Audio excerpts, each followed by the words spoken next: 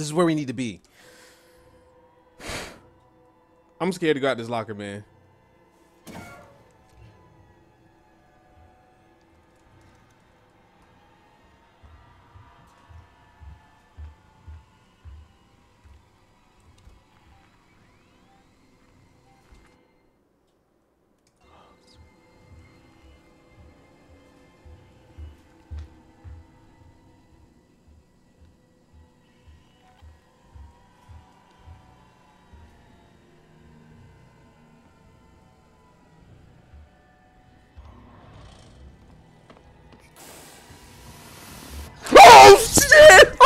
Oh my god! Oh my god!